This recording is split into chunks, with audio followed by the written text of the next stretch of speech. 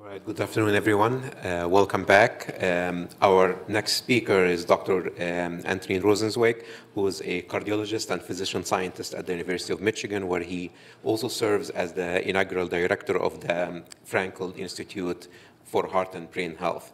His research primarily focuses on heart failure, exploring the protective mechanisms behind exercise on cardiovascular health and how dysregulated pathways like inflammation and cellular metabolism contribute to diseases in both the heart and the brain.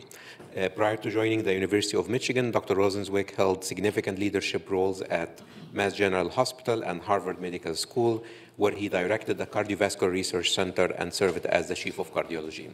So please join me in welcoming Dr. Rosenzweig in our speaker today. Thanks so much, Ahmed, um, for the kind introduction and the opportunity to participate in what's been a spectacular uh, symposium, and, and what an honor to be part of this ongoing legacy of Daniel Goldstein. Got to say, I've only been here a couple of years, so I only overlapped a little bit, but he was incredibly welcoming and gracious when I came. I certainly know him as an outstanding scientist, but also a, a, a wonderful person, so it's a real honor to participate in this. Um, so I'm going to talk a little bit about uh, age-related heart failure and why we think some of the driving mechanisms um, have relevance beyond uh, just aging. Um, and so these are my disclosures. Uh, most of them are not particularly relevant, but my former employer uh, has patented, along with Novartis, use of some of these activin inhibitors uh, in heart failure. Um, and I've consulted for some companies where I've really been trying to push them to do clinical trials, which I'll I'll, I'll uh, share with you is finally coming to fruition. Um, so a little bit of clinical uh, context. Um, everyone here knows that we've made enormous progress in the management, prevention, and, and, and treatment of cardiovascular disease. This is a uh, figure from an editorial that Betsy Nabel and, and uh, Jean Brownwell wrote for the bicentennial of the New England Journal of Medicine, just pointing out that the death rate from cardiovascular disease has dropped dramatically over the past five or six decades. Um, and yet the burden of cardiovascular disease reflected in this one metric, uh, cost, uh, continues to rise and is projected to be, at this stage, uh, more than $800 billion total in the United States alone by 2030. Those numbers have been updated to even a more staggering number. So how do we understand this paradox? And I, I think there are really three principal drivers. For first, in some sense, is the burden of our success. We've gotten good at getting people through their acute cardiovascular illnesses if you come into the hospital now with an acute myocardial infarction, you know, the 30-day mortality is on the order of 3% as opposed to 1970, 1980 when it was 33%. Um, that's pretty dramatic. Um, but those patients go on and are at risk for the late sequelae of cardiovascular disease, principally heart failure and arrhythmia. Um, and then everyone here knows we're in an epidemic of metabolic disease in the United States and around much of the world. I'm not going to spend a lot of talk, uh, time talking about this, but I think it's an important driver. And then the topic of this symposium, obviously, is aging. And populations in the United States and around the world are rapidly aging. Our pet hypothesis is that the two of these things, metabolic stress and chronologic aging, conspire in what uh, Eva Feldman and I have started calling uh, MESA, metabolic stress and aging, to drive biological aging in a way that promotes both uh, heart and brain disease.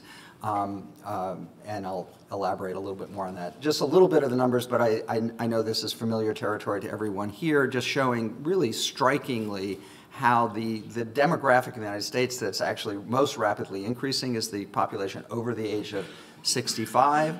Um, the population that I'm most excited about, being a relatively new grandparent, is under five, and that is actually dropping in the United States. And as you all know, the prevalence of cardiovascular disease rises as population ages. Um, this is the prevalence in the over 80 group. Now, a lot of this is driven by the new SPRINT definition of hypertension, but applies to other cardiovascular diseases as well. So in some ways, this is obvious. When I'm in a clinical service and you ask fellows, like, what are the risk factors? Why does this person have cardiovascular disease? Usually they don't even mention age because that's kind of taken for granted.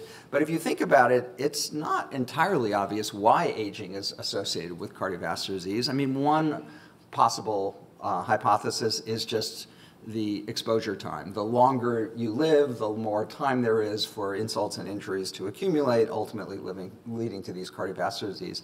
I think the more interesting hypothesis is that there are mechanisms intrinsic, intrinsic to the aging process that also predispose to cardiovascular disease. And I'm going to spend most of the time talking today about something we heard uh, really elegantly introduced by Eliza, um, senescence uh, factors in this context. But as you think about it, as I thought about it, I mean, part of the conundrum is we have such little understanding of what aging really is. So, you know, there were two famous papers, 2013 and 2023, published on the hallmarks of aging. And what I noticed is that when you go from 2013 to 2023, they only get much more complicated. It's like more Ptolemaic loops into these orbits, um, showing how little we have a really coherent uh, conceptual framework for understanding what aging biology is or what the hierarchy of all of these different hallmarks might be. Um, some obvious mysteries in this context. If you look at mammalian species, the range in lifespan in mammals alone is two orders of magnitude. You know, if you look at a, a, mouse versus a whale or some of the others, it's from two years to 200 years. And obviously, we all have the observation that individuals we know seem to age at different rates. These are two men that are each uh, 60. Maybe this is a little bit of uh, foreshadowing just to say that uh, I will talk about exercise. Um, I am not uh, recommending anabolic steroids, I would just say, but this person may have. Um, um, uh, indulged in a little bit. And then, you know, a famous observation is that presidents age rapidly in office. So something about the stress of that office um, leads to rapid aging. Since we're a purple state, I figured I'd represent both uh, parties here. So um, we know that stress of a variety of forms can make biological aging accelerate and worse. Of course, the more interesting question the older I get, um, is can we do anything that mitigates biological aging? I mean, these are some of the processes that, um, that exacerbate and are listed as hallmarks of aging. And obviously, this has been something people have been interested in for hundreds and hundreds of years, from Ponce de Leon um, on down.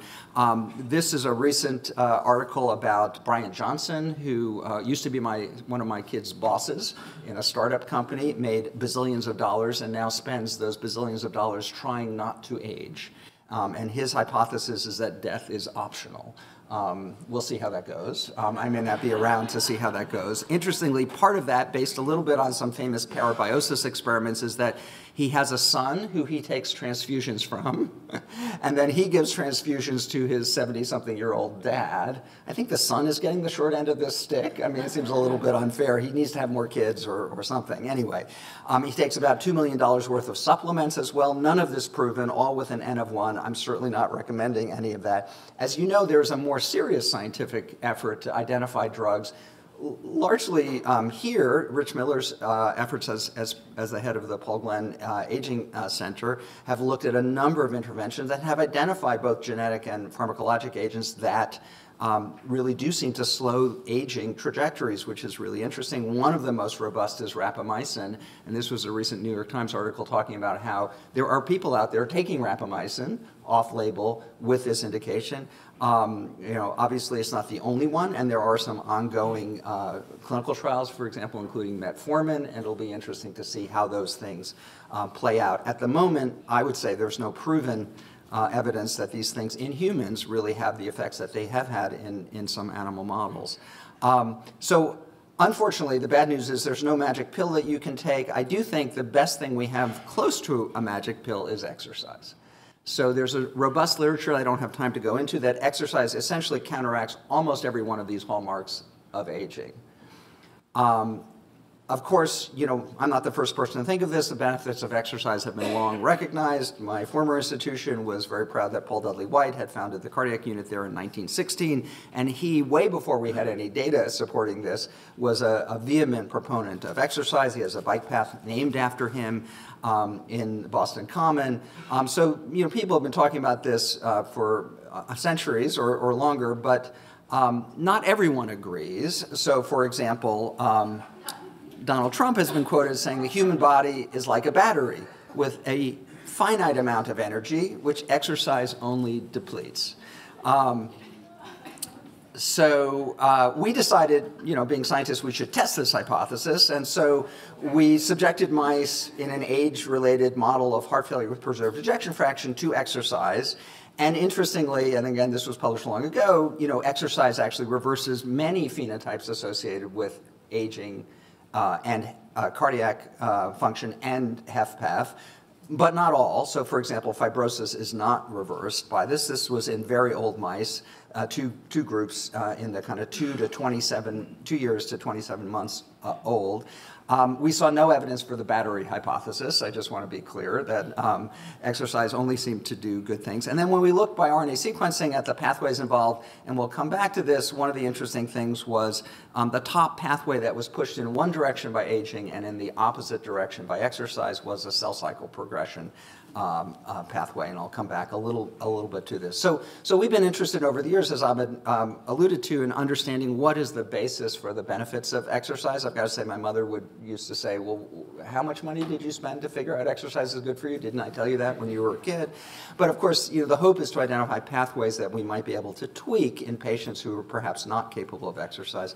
So we've looked at a range of different models and have compared um, sedentary mice who are just floating around to mice that are swimming um, we started with the swimming model, I've got to say, because I think um, I initially thought we'd have to have a really intense and forced form of exercise to see these benefits. It turns out that's not true.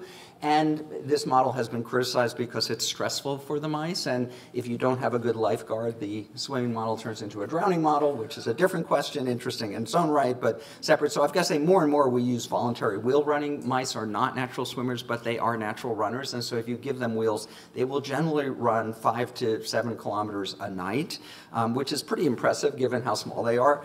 Um, also, I find a little depressing because that's about what I run, and I'm pretty sure they're quicker than I am just looking at them. Anyway, so just to summarize a lot of postdoctoral lives and efforts um, to sort of three salient messages that I took away from these sort of a dozen years of studies in this. The first is that, which was surprising to me, I thought we would find a common set of growth pathways in both physiologic and pathologic models, like the aortic constriction model that's already been uh, described by Matthias um, and the exercise models, and then certain things that were unique. In fact, there's almost nothing in common. There's almost no overlap between these. There are a few genes, you know, or proteins. We, again, we've looked at coding, non-coding genes, proteins, post-translational modifications, and so on. Um, there are some in common, almost always. There are some exceptions, but almost always when you find things that statistically change in both models, they change in opposite directions arguing these are really fundamentally different processes, and this is even when you look really early, like a week or two into these models. So the hearts look identical, and yet they've already started marching down very different pathways. Um, the second thing is that, and I'll come back to this, I mentioned already, active, we consistently saw that exercise activates pathways associated with cell cycle progression. Um, I've got to say the first five times since I am not a stem cell person that I saw this, we ignored it. And then the next five times I said, well, it's probably just endothelial proliferation because we know it's an angiogenic um, stimulus. And then eventually I couldn't ignore it anymore, and I'll show you some of the data. It turns out it does increase cardiomyocyte proliferation. And then the last thing which has kept us interesting, interested in this is that pathways functionally important in exercise without exception that I'm aware of, protect against pathologic stress, suggesting in composite that you find different candidates and that those candidates are highly enriched for potential therapeutic targets, so it's interesting. So just a little bit of the data, again, published a while back, collaboration with Rich Lee, who set up a really elegant system for using stable isotopes to really document cardiomyocyte proliferation, which it turns out is harder than one might think to do. And exercising young animals for two months with voluntary wheel running increases the birth of new cardiomyocytes by almost fivefold over those two months. It does a similar thing in old mice where the background rate of proliferation is almost zero, but it, just to say in absolute numbers, it kind of restores that back to the level you see in young mice. It doesn't go beyond that. And then just to point out the obvious, part of the reason the relative increase is so big is because the baseline rate of cardiomyogenesis, birth of new cardiomyocytes, is very low in an adult heart. But it's kind of remarkable that can do it. How much does this matter? You know, I think Rich did some interesting calculations suggesting that if you even increase the basal rate in mice and humans is pretty well documented to be about 1% per year. If you increase that a few fold, and again, we're increasing it about five-fold in these mice with exercise, um, it changes the average age of the cardiomyocytes in the heart by the time that individual grows up, at least, you know, by the calculus just because of compound interest, right? So if, you, if you're increasing this rate now at 3% a year rather than 1% a year, by the time an individual human gets to be 50 years old, about 80% of those cells are younger than the individual, which is how in the science paper they documented um, uh, you know, the, the, the fact that there is cardiomyogenesis. The other thing, so they're younger cells, and if there is also a balance between, uh, homeostatically between birth and loss of cardiomyocytes, um, uh, this is on the order that that could have an impact, but, but it's hard to find a way to really cleanly test that. Um, but it's an interesting concept. And then um, you know, I think in a practical sense, as a clinician, the idea that these pathways linked to exercise are enriched for things that protect against pathologic stress suggests this is a good place to look for therapeutic targets. And then the question becomes, which of these are practical targets that you can actually uh, intervene on. And so we have a several that we're really interested in in this context. And in the interest of time, I'm just going to talk today about these SASP proteins, which we've heard a little bit about, uh, kindly already introduced. And the kind that I'm going to talk about are, um, I think of broadly as uh, ligands for the activin receptors. And so this includes um, activins themselves, which are dimers or heterodimers that are formed, so activin A and B and some other less common forms, uh, myostatin, GDF11, which Rich Lee has been quite interested in, and these are major regulators of skeletal muscle growth. So they're linked to exercise in that one of the ways your muscles grow when you exercise is either through inhibiting these pathways or decreasing their expression. So that relieves that inhibition of muscle growth and, and they, can, they can grow. And so there are naturally occurring mutations in almost all mammalian species. These are Belgian blue cattle.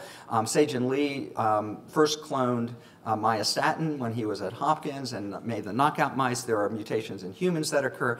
Um, the key point I want to point out, though, is that Jason Rowe, who picked this project up when we were at Beth Israel Deaconess from Pablo Quintero, um, made the really interesting observation that one of the challenges in thinking about and I think one of the reasons there's been controversy about this pathway, is there are probably about 15 different ligands. There are also endogenous inhibitors. There are multiple promiscuous receptors. So it's really hard to figure out the stoichiometry of how these things are affecting the biology and just add it up like a simple uh, math equation.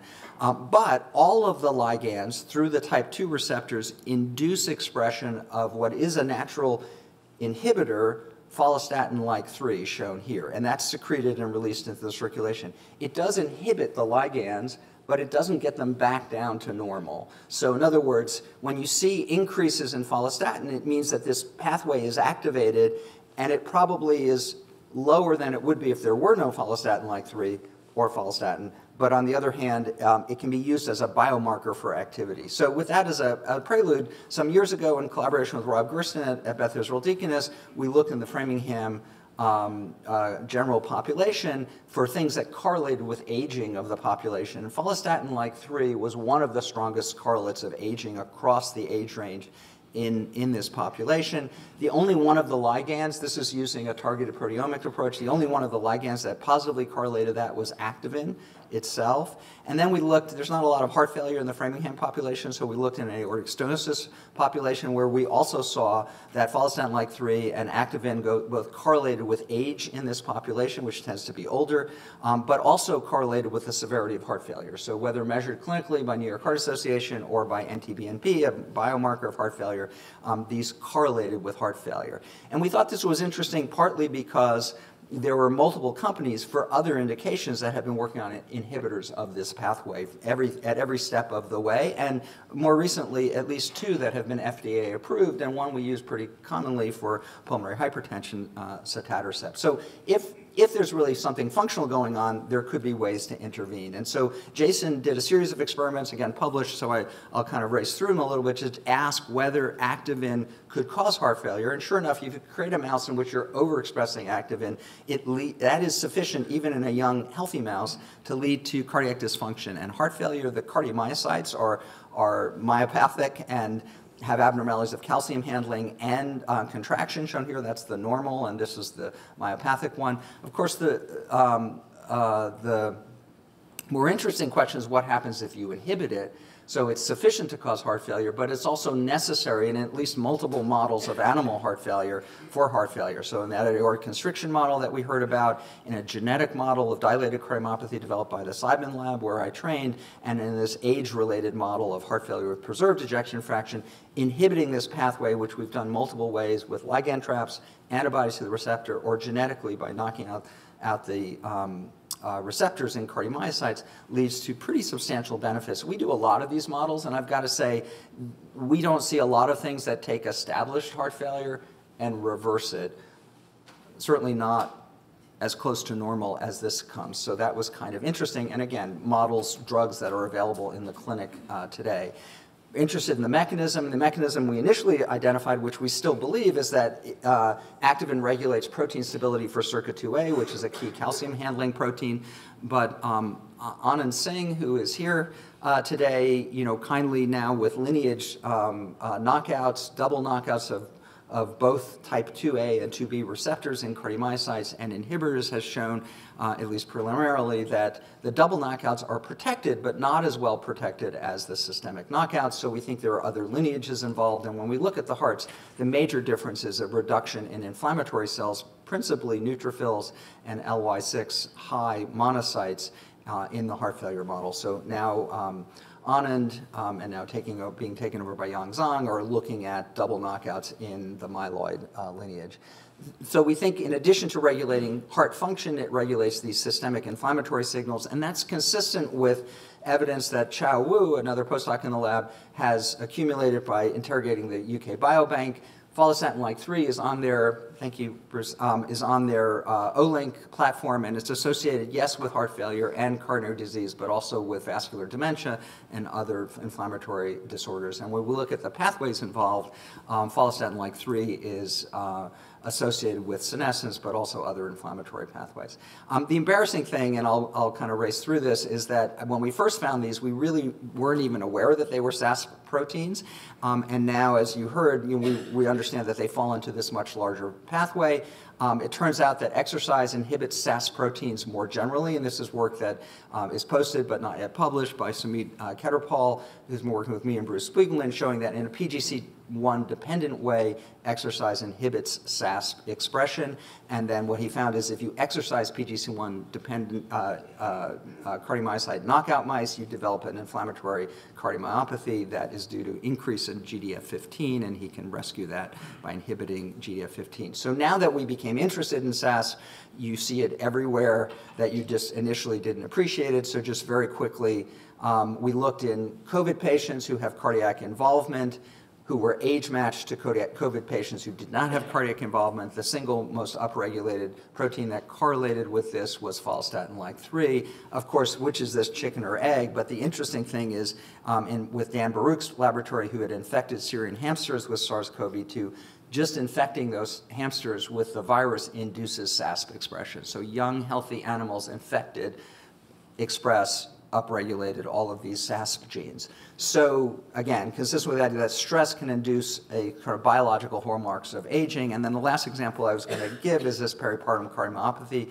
example many people here know, an idiopathic type of heart failure occurs in late pregnancy or early postpartum, thought to be on a, on a, on continuum with preeclampsia. So Jason and Claire Castro looked in patients with uh, preeclampsia or peripartum cardiomyopathy and quite shockingly to us, the single most upregulated pathway were SASP proteins. So why do these young women, 32 years old, have, on average, have this upregulation of senescence proteins? And then we thought, well, the placenta is born to die in 10 months. And when we looked at the placentas from patients with preeclampsia, that's where the 28 genes in common between these signatures were being expressed and secreted as proteins. Um, and the most upregulated one was activin. The second most upregulated was follistatin like 3, and with those with sharp eyes will see PI1, another downstream target, was also upregulated.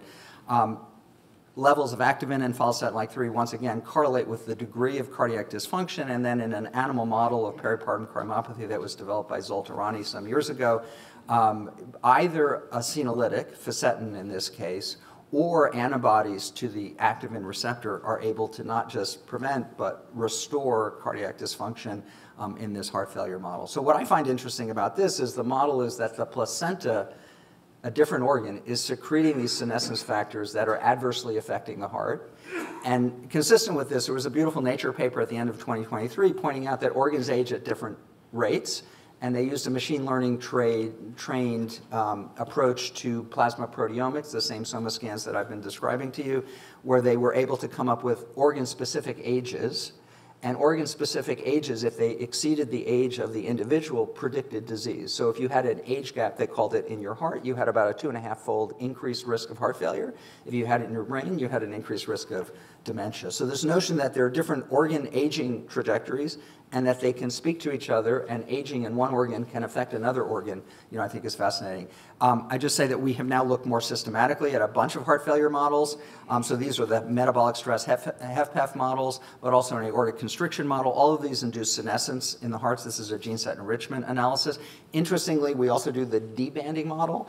Um, and in that context, once you deband, you remove the constriction, the senescence goes away completely. Eva Feldman has looked in the brain, and we see a similar uh, process of senescence in the brain. Just to say that Eva and I, along with Greg Lewis at MGH, have a new grant, and we're going to do a clinical trial of these activin inhibitors in a HFpEF population. So just to summarize and end, aging, of course, is one of the strongest risk factors for cardiovascular disease chronological aging is inexorable. We can't do anything about it. But I think what's so interesting that biological aging varies across species, across individuals, and even within organs in the same individual. And so there may be an opportunity to think about these age-related signals as potential targets and biomarkers. And we talked about activin, GF, 15 or senescence more broadly. I'm a little concerned about that because, I mean, Scott and I were talking about there are, in some situations, evidence where you inhibit senescence and it actually makes things worse, um, and exercise is a potentially valuable discovery platform. So I am exceeding time, which I apologize for. Happy to answer any questions.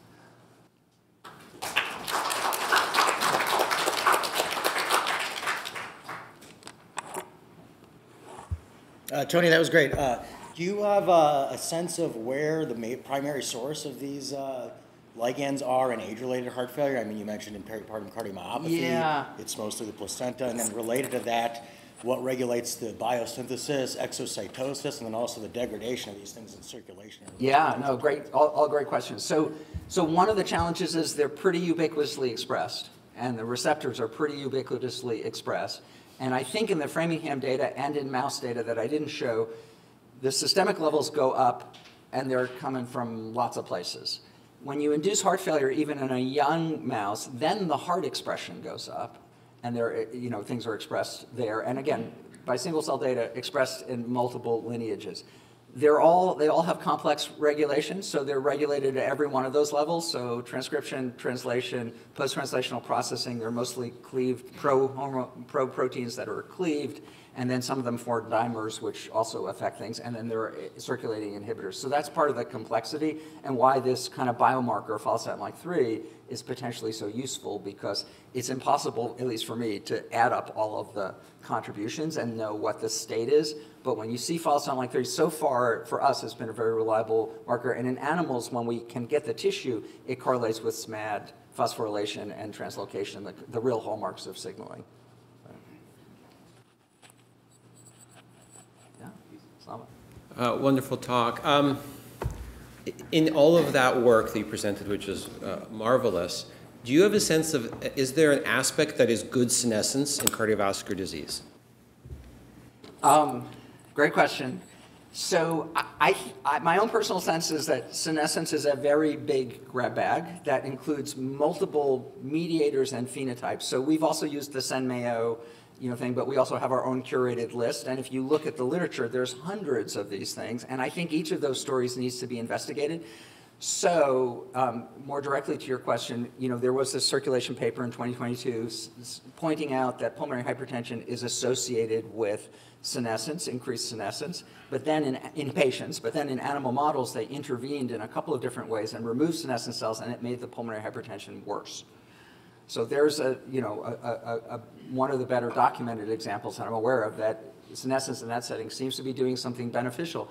I think there's even more subtlety because it's not just senescence good or bad or, you know, adaptive or maladaptive, it's, it's which mediators. So that's kind of why we're interested in not just using fisetin, but saying, okay, activin seems to be the big player in at least some of these conditions. We have specific ways we can in, inhibit that. Um, and then we did publish in, in, in, diabetes a paper looking at um, fatty liver disease, where it turns out that there are also changes in these pathways. And I honestly thought we would overexpress activin and make things worse, and it actually made things dramatically better. So that's another example where at least one of these senescence factors, and so there's a lot of literature saying in fatty liver disease, senescence must be the problem, and maybe some of those factors are, but at least in our hands, when we, activin, which goes down in the liver, when we restore expression of that, actually makes it much better. I think a lot of that is energy homeostasis, because uh, these factors regulate, you know, catabolic, anabolic switches, and, and so pretty much anything that makes you lose weight in fatty liver disease or many obesity-related diseases will have benefits, so it's complicated. But yeah, I think there are some settings where it's good, and it's been well documented, yeah. Thanks, Lava, great question. Just David? a tour de force, as always. Um, Question is, uh, if these if activin and things that remain in the placenta are causative of senescence, why doesn't everything come crashing down when the placenta is removed?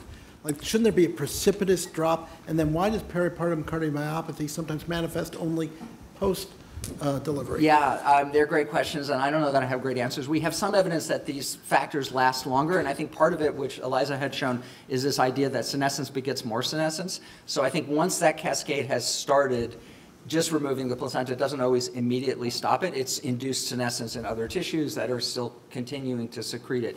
And then I do think there's a, also there's sort of two components which I glossed over. One is the senescence factors, and in some people that seems to be expressed at a higher level, and we don't know why that gain is higher in those people. But then there's also the vulnerability, and so Zolt and the Seidmans had documented years ago that the people who develop peripartum cardiomyopathy have not a, a, a huge, but a, a significantly increased prevalence of these cardiomyopathy, you know, mutations, including truncating mutations of Titin and so on. And, and so there's probably some combination of what are the levels of these senescence factors, which can have adverse cardiac effects, and how vulnerable are you based on genetic predisposition that determines those things. But it's a hand waving argument. We don't really know. It's a great question.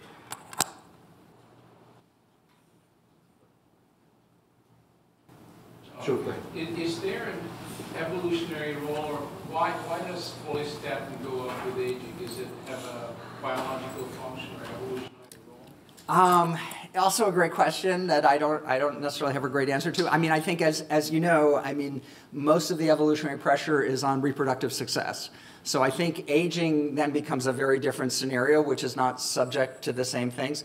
I do think in the context of heart failure, the initial increase in these factors is probably adaptive in the sense that they tend to induce a, um, an energy conservative state. So rather than they take the organism from laying down more protein and building bigger cells and growing cells to a more conservative state, and, and even the inhibition of SERCA2a is part of that. And SERCA2a is a big consumer of ATP in the heart. On the other hand, like so many parts of heart failure, the, er, that early adaptive response becomes maladaptive. Those are not good long-term strategies. So I think, you know, like everything, dose and duration. So if you maintain high levels for a long period of time, you'll eventually see the adverse sides of that. You know, there's probably an intermediate zone that you can get away with, or may even continue to have some benefits. I guess would be